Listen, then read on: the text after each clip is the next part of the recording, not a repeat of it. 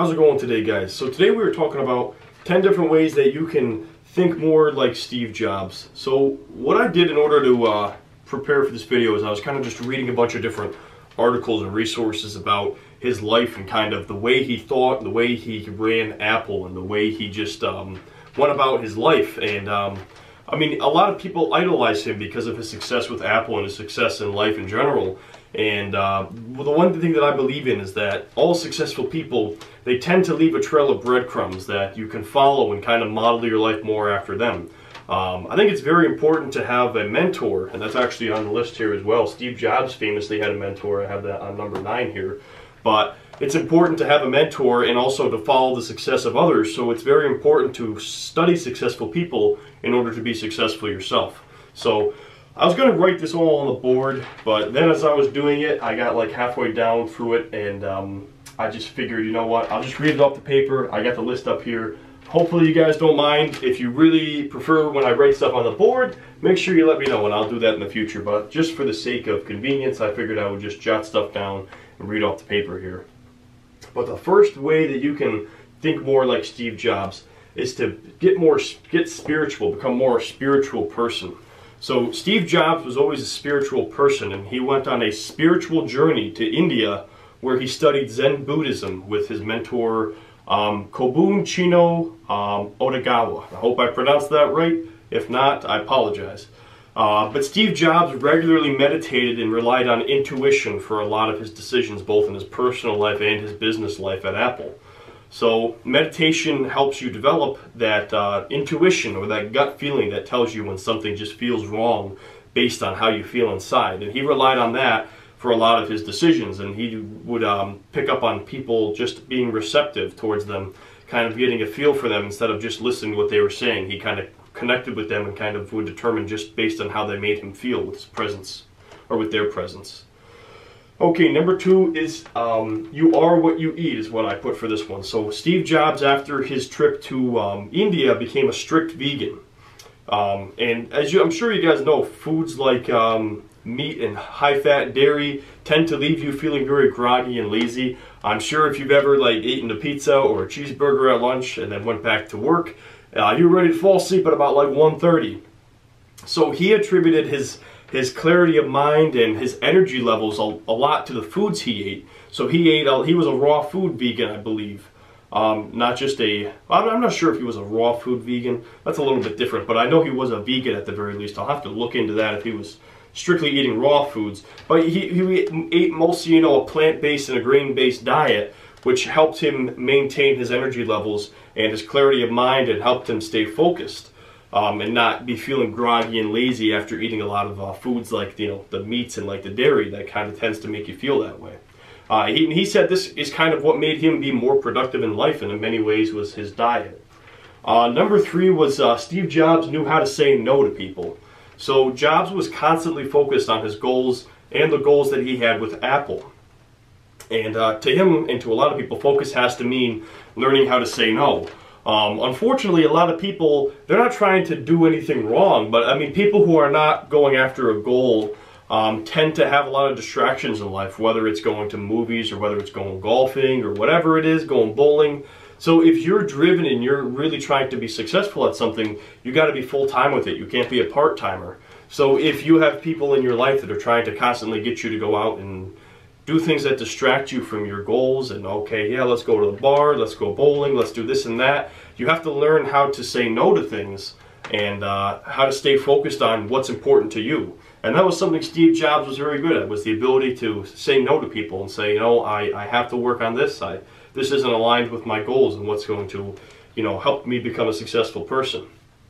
So he was not a fan of meaning, meaningless conversations or parties or any leisure activities for the most part if they weren't helping him towards becoming successful.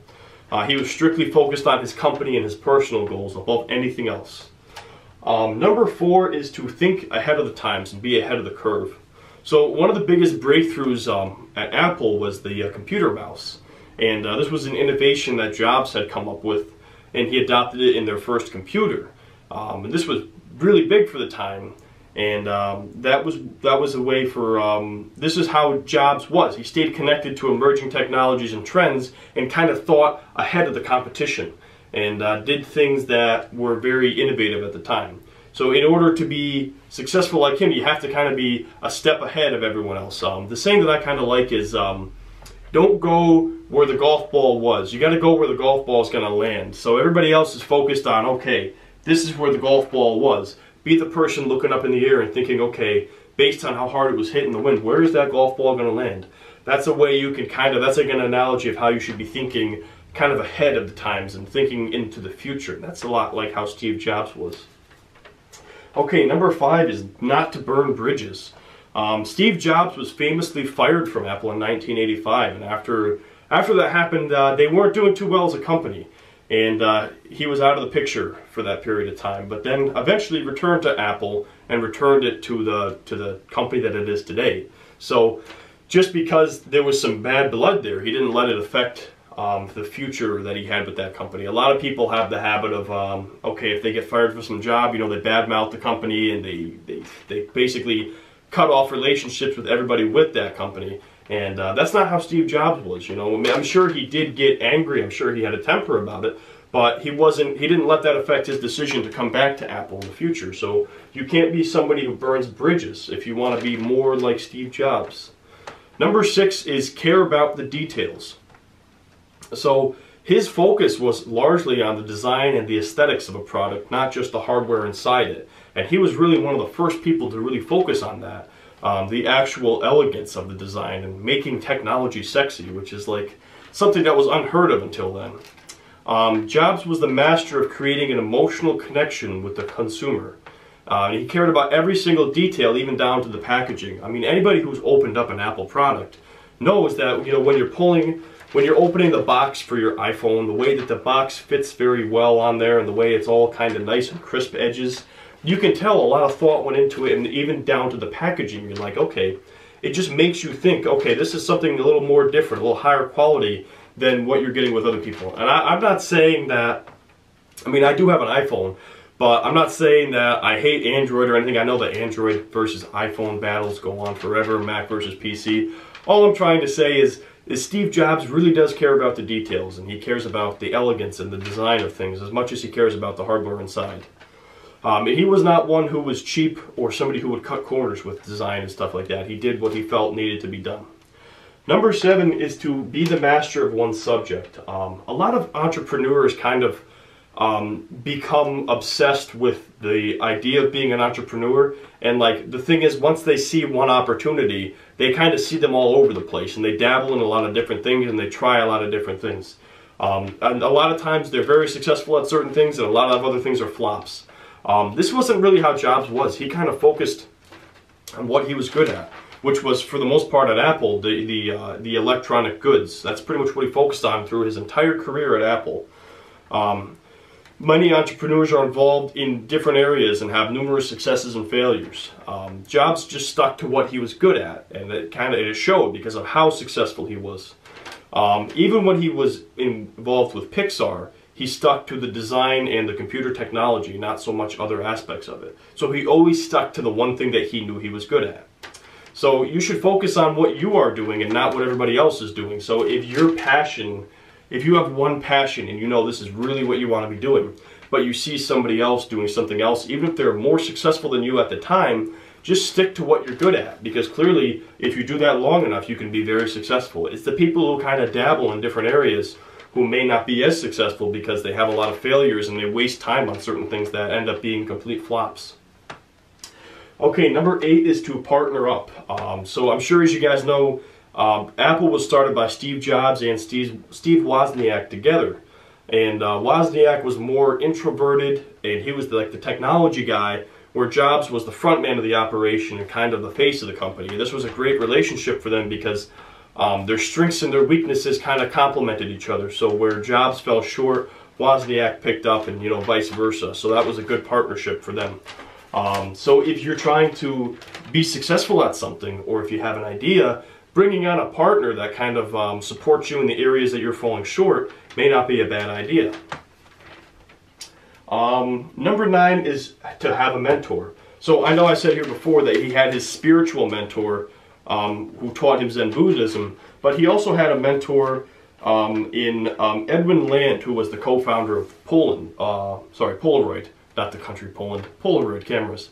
Um, find someone you respect and study that person. So for Jobs, this was Edwin Land.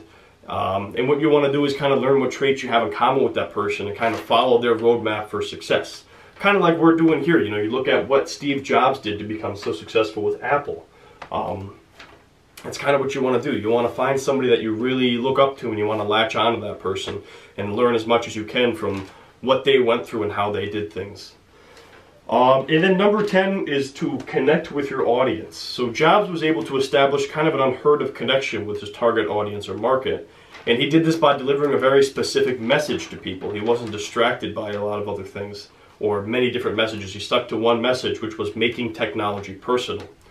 And uh, he, he was really good with, even though with Apple such a large company, establishing a one-on-one -on -one connection with the customer. So that, that was his main focus, was to establish that connection with the audience. But anyways, I just thought that was kind of interesting. I wanted, I do a lot of, um, uh, I do a lot of like studying of successful people and I kind of try to pick up on what their habits were and maybe figure out what areas that myself I can improve in my life. And uh, this was just really cool to me because I, I, learned a lot about Steve Jobs and things I didn't know about him. I didn't really know he was a vegan.